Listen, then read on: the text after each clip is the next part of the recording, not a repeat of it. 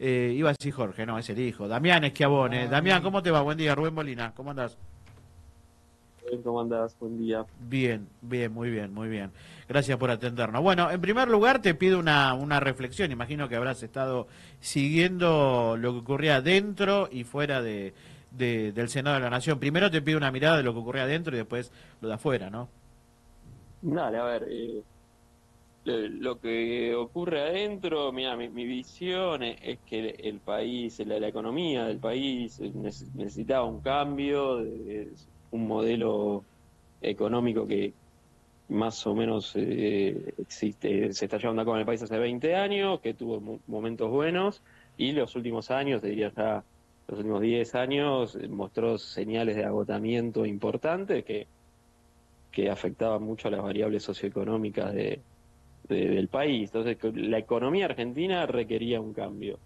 Eh, y la gente, nosotros teníamos nuestra propuesta, la gente eligió la, la, del- la de Milei y yo creo que este paquete de leyes va en ese sentido. Así que, digo, yo creo que, que hay que probar con, con algunos cambios en la economía. Digo, en eso no, no hay dudas, ¿no? Después, qué se pone, qué se saca, los detalles de, de la votación, me parece que es algo, eh, era un paquete muy grande, de muchas medidas, es habitual que, que, que se empaste un poco, que, que, que estén hasta último momento y saca- sacando cosas, porque el paquete de reformas será muy grande, ¿no? Eh, eso, si quieres, no me sorprendió.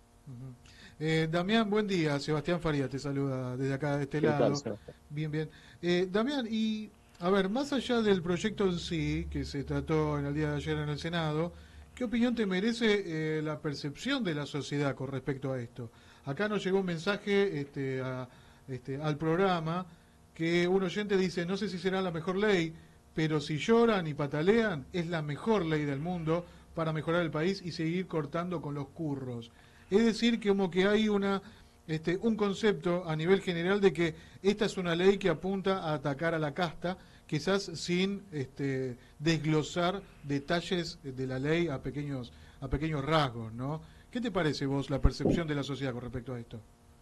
No, eh, a ver, a, a mí lo que me parece es que el, presidente sigue manteniendo altos niveles de, apoyo en, partes importantes de la población y que claramente una base de su discurso y una base de, su sustento electoral y, y por qué le fue tan bien eh, es parte de, focalizar en, la política argentina los problemas del país. Digo. Entonces, eh, eso y, esta ley a los seguidores del presidente los los alienta como, como apoyar esas ideas. Digo, la- las elecciones fueron, por lo menos para los partidos políticos que, que veníamos trabajando ya hace años en, en Argentina, es un, un llamado a la reflexión, de eso no hay ninguna duda. Seguro, seguro. ¿Y qué impresión te llevas de lo ocurrido en torno al Congreso ayer?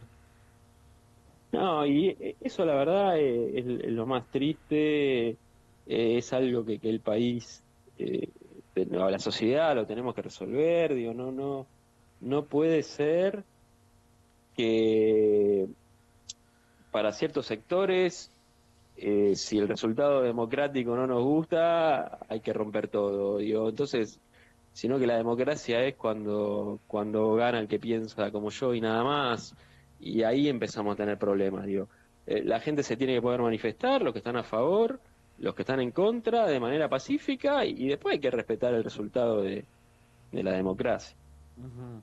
Perfecto, coincido. Eh, Damián, te llevo más a la cuestión local, ¿sí? Te... Sí. ¿Hubo subejecución ahí con el tema de, del, del dinero de provincia para la- las escuelas? Todo, hay toda una polémica en torno a eso. Sí, mira, eh, en términos generales a mí lo que me parece es que el problema que, que está habiendo con las escuelas que están sin gas en el invierno eh, es un problema de, de gestión, claramente de gestión, y más que de números, que de plata, que, que financiero, digo, no. Eh, tenemos documentos, los que quiera, para la, la demostración que el municipio de, de plata estaba bien. ¿Y por qué te digo que, es un problema de gestión? Porque nosotros cuando nos fuimos hace ya un poco más de seis meses de la gestión, dejamos eh, todas las escuelas con gas, salvo dos que no tenían porque estaban en obras. Seis meses después hay 25 escuelas con problemas de gas. Eh, nosotros trabajábamos, te diría que había reuniones semanales entre el Consejo Escolar, la Secretaría de Educación, la Secretaría de Obras, Jefatura de Gabinete, siguiendo el tema de las escuelas.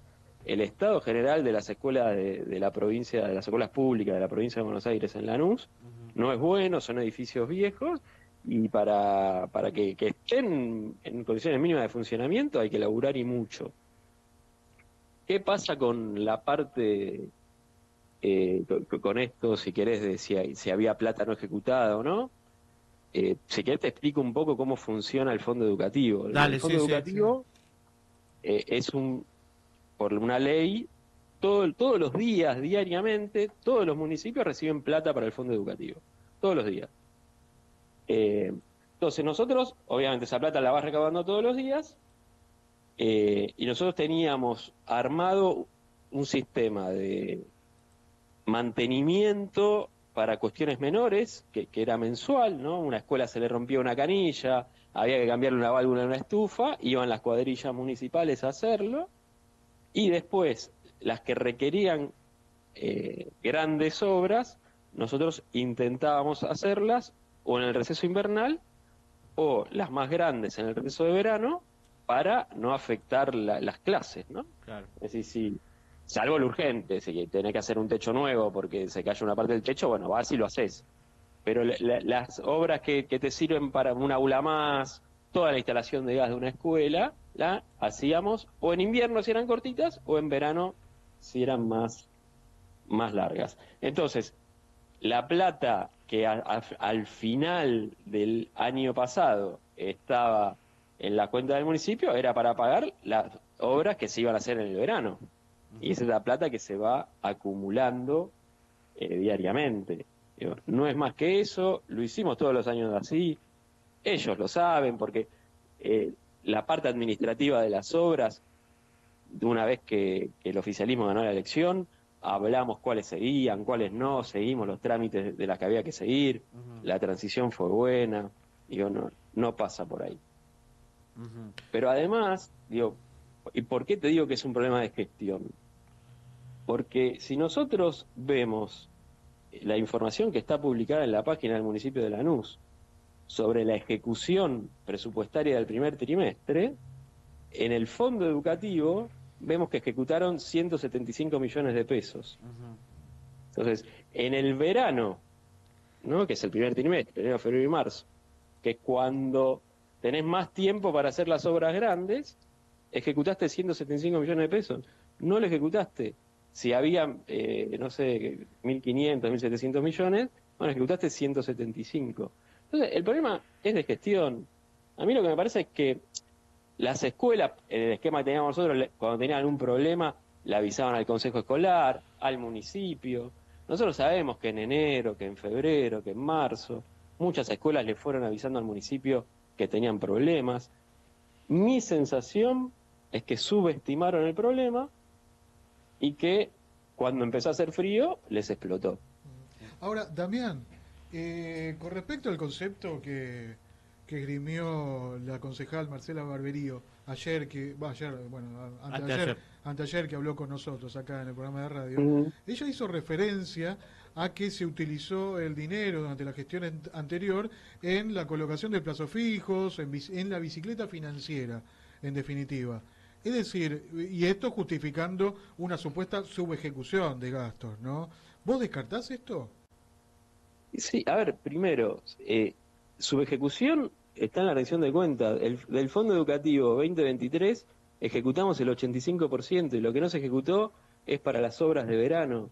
Digo, no, no en eso estamos recontra tranquilos. O sea, o sea perdón, se usó es solamente el 85% de los 1.900 millones. Eh, no tengo bien el número de cuánto, a ver, para si querés lo busco, pero el 85% del total, digo, no, no, no tengo bien bien el número.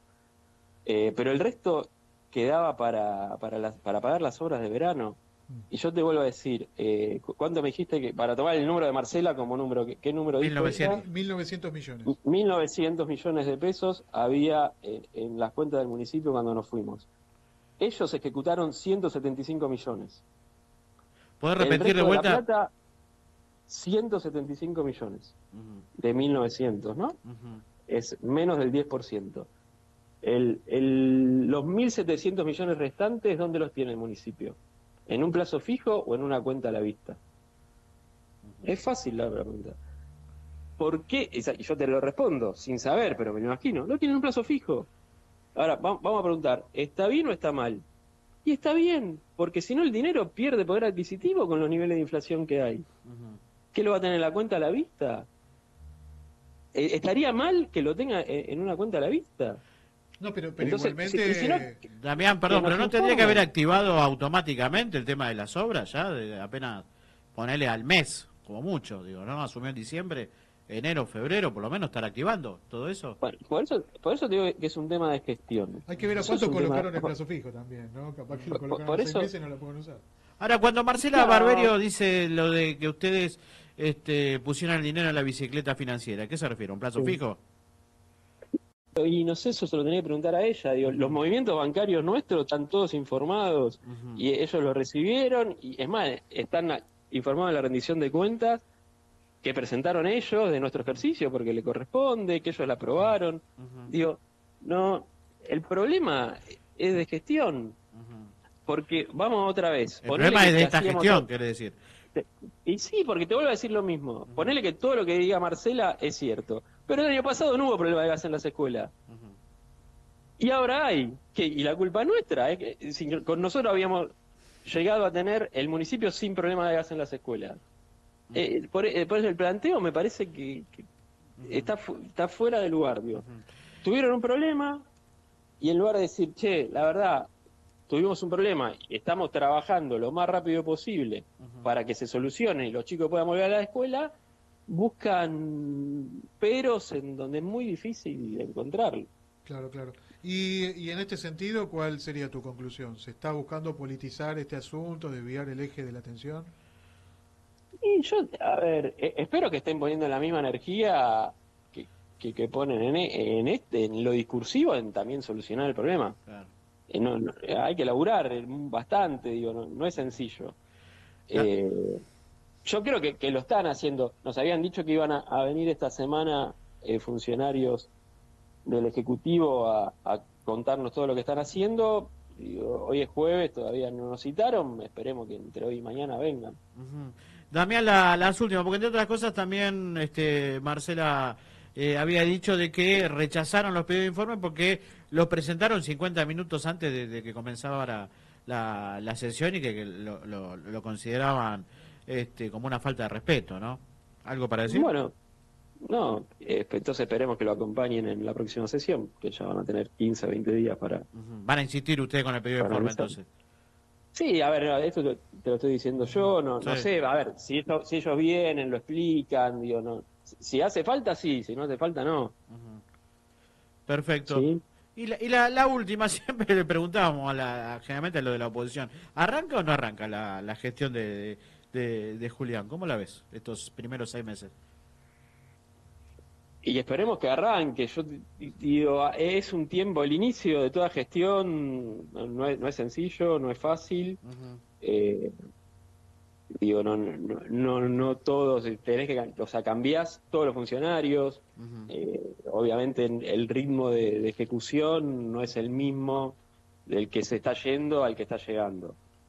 Pero bueno, eh, el, el, gas en las escuelas es un claro ejemplo que los problemas de los vecinos no esperan demasiado. Eh, entonces en un momento tenés que arrancar y arrancar con todo y, con ritmo, digo. Esperemos que sea pronto. Damián, te mandamos un abrazo grande, muchas gracias. ¿eh? Muy amable. No, gracias a ustedes. Hasta luego. Bueno, ahí lo tenemos, ¿eh? Damián Esquebone, concejal por el PRO, hombre hombre del PRO y concejal de bloque Juntos por Lanús. ¿eh? Me suena el apellido.